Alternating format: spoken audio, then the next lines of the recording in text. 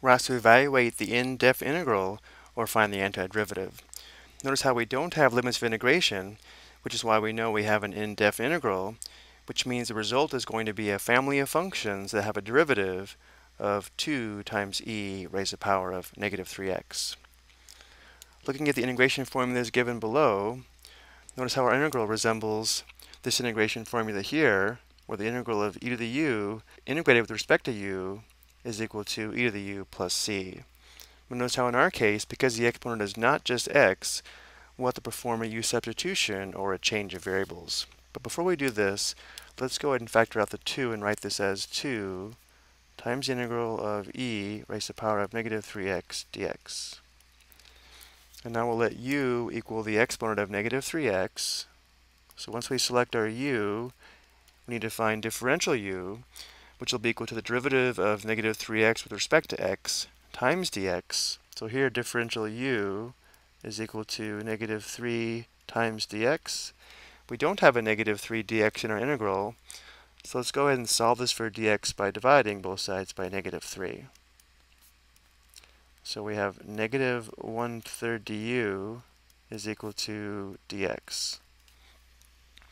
And now we'll write our integral in terms of u.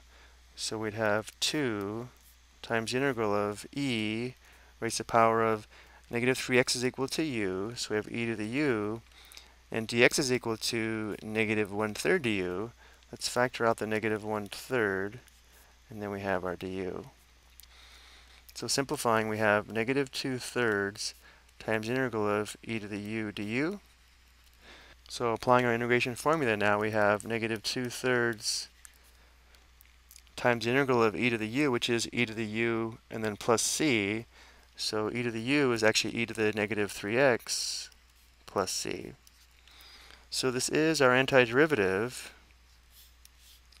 which means big F of x is equal to negative 2 thirds e to the negative 3x plus c, and therefore the derivative of big F of x should equal f of x equals 2 times e raised to the power of negative 3x.